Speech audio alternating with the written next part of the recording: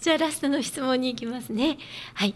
えー、弥勒菩薩は釈迦入滅後56億7000万年後に姿を現すとされています。この56億7000万という数字は何かの象徴と思われますが、この数字は何を象徴していますか？まあ、いわゆる未来物だよね。えー、未来さ凄まじい年数だよね。うんうん56億 ,6 億？7000万年後、はい、これ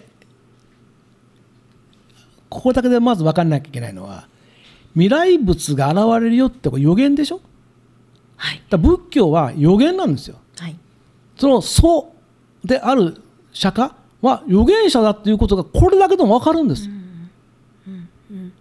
うん、あ釈迦は預言者ねえよっていう人結構いますけど実はチベットに行くと釈迦の予言だらけですよ。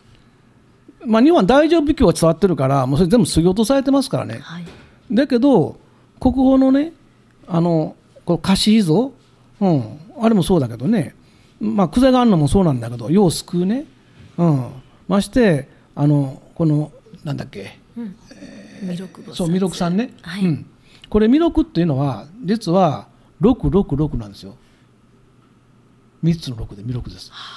でも369でも弥勒ですよ。うん、これ足してくださいよ。うん、369、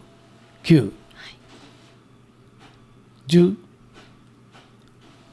で6が3つで18、はい、弥勒の369でも足す18同じです。対応してるんですよ。でユダヤの比数学数比術からいくと18も1と8足さなきゃいけない。これ9です。これ9っていうのは最高の数字なんですよ。これ以上上ないですから、うん、これ上と1で10なって、まあ、いわゆる大チョ株から言うと舞台なんですね、もう全部失うんですよ、うん、1020とか0になったら全部パーです。だからヤクザっていうのは893と書くんですね。足すと20です。ちょっとパー。人生を台無しにする連中をヤクザって言うんです。すごいですよ。ユダヤの数秘術っていうのは日本に完全に根付いてますから。